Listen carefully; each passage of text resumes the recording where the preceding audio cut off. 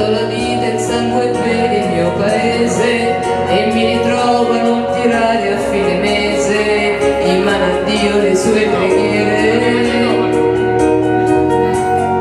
Ho giurato fede mentre diventavo padre due guerre senza garanzia di ritornare solo medaglie